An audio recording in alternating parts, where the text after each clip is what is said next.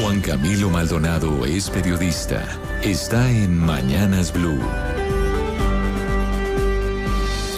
6 de la mañana, 39 minutos. Ante el aislamiento en el que está el gobierno en el Congreso sin una coalición y en la semana definitiva para las reformas a la salud, pensional y laboral, el presidente Gustavo Petro vuelve a recurrir a la calle, al apoyo popular para impulsar sus anunciados cambios. El presidente dio a sus seguidores prácticamente un manual de instrucciones para que realicen desde ya las llamadas asambleas populares, que son básicamente reuniones de sus electores en las que, en teoría, se identifican las necesidades que presentan las regiones regiones y sectores del país.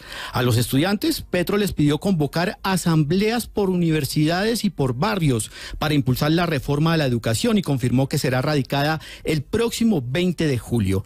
Petro pidió, pidió a los pequeños y medianos mineros reunirse localmente para estudiar los resultados de la convención minera que se adelantó en febrero y definir un nuevo código del sector, proyecto que será radicado el próximo semestre. También hizo un llamado general a la población para armar asambleas de usuarios y generar una nueva política en defensa de sus derechos frente a la prestación de los servicios públicos en el país.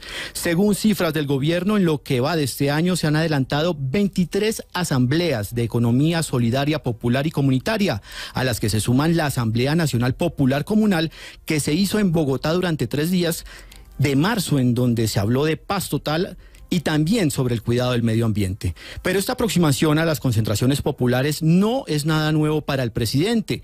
En junio de 2013, durante cuatro horas, la Plaza de Bolívar de Bogotá se convirtió en el epicentro de una asamblea popular, como la llamaron sus organizadores de la época, para defender la gestión del entonces alcalde de Bogotá, Gustavo Petro, luego de la notificación del pliego de cargos en su contra proferido por la Procuraduría General por posibles irregularidades en el el cambio en el esquema de basuras de la capital del país.